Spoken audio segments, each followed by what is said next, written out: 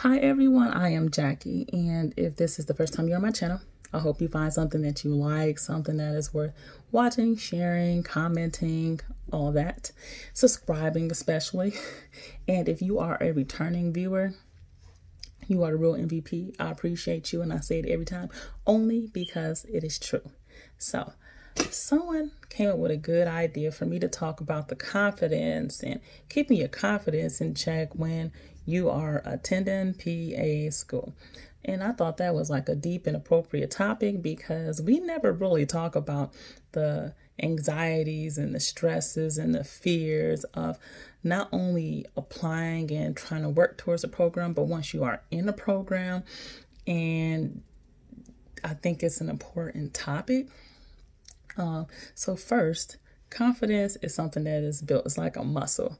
You have to practice it every day. And that's one of the instances where I do believe is better to fake it until you make it because you don't want anybody to just try and, you know, waver you from a decision, especially if you prayed about it, you've thought well about it. Um, you don't want anybody questioning your abilities, especially if you know the work that you put into it. For me, I would say that I've had to grow into my confidence. I okay, at baseline, I'm pretty confident. I'm pretty confident. I'm pretty sure about myself. Um, but I'm human, and there are probably some situations where my anxiety is higher and I'm not as confident, but I push through. I I rather just not sit in that place of not being confident. I'd rather like push through because I feel better when I'm not um, feeling not confident. if that makes sense. Like if I'm in a situation and I'm like, wow, this is very uncomfortable. Um, being confident is probably where I'm more comfortable. So I'm going to try to push to a place where I know I'm confident. Um, in pursuing PA school, I would say I didn't have a lot of naysayers only because I probably did not discuss it with as many people as other people do. Like, I didn't have a consultation with my mom, my dad, my siblings. I didn't have aunties and uncles and cousins or anybody saying, like, girl, you was just in school not too long ago. You sure this is the route you want to go?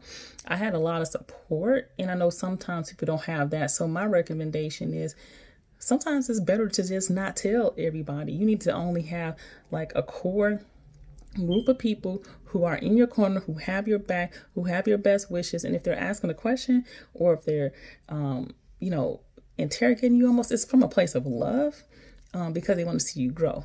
Not because they're trying to shut you down, not because they are projecting their own inadequacies or lack of progress or lack of achievement onto you. And that can be tough for some people who are very dependent on the opinions of their family, friends, and loved ones. I would say that I'm kind of, I think because I'm an air sign and Gemini, that I just kind of like drift around. I'm okay, you know, marching to my own beat. And I'm really good at like focusing on where I'm going and what I want.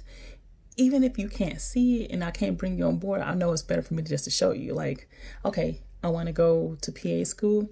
You don't think it's a great idea. So I can't get you to understand, especially if you don't even understand what a PA does. So, like, that's always, I'm like, you have to ask yourself, do they even know what they do? Do they even know what it is I'm trying to achieve? We can't expect everybody to see our dream and have the same passion um, or see our vision and have the same passion and um, emotion connected to it and making sure that it comes true. So, I would say, sometimes it's better just to tell fewer people. It's better to show people instead of, you know, trying to go into these long explanations. It's hard to explain this sometimes. And then I think it's also important to not become so attached to what other people think, believe, and say. I think that really helps your confidence um, because people don't walk in your shoes, people don't have your experience, they can't really speak to what it is that you want to do as a big time goal.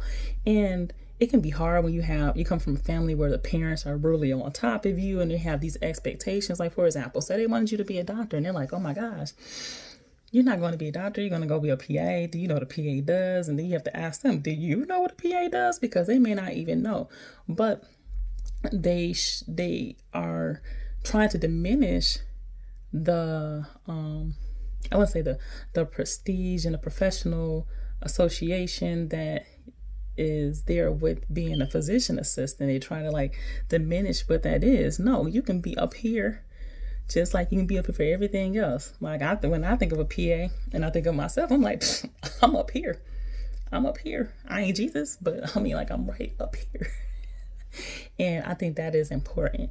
I also think that when our confidence is shaken as we pursue medicine, we have to just find people who are going to be that positive reinforcement, that light, that encouragement.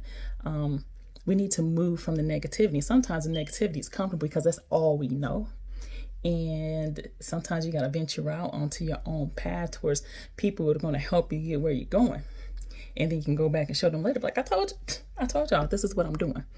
Um and i guess maybe it comes off easier said than done but you have to develop tough skin. And i think it's important in medicine because you are dealing with a lot of people.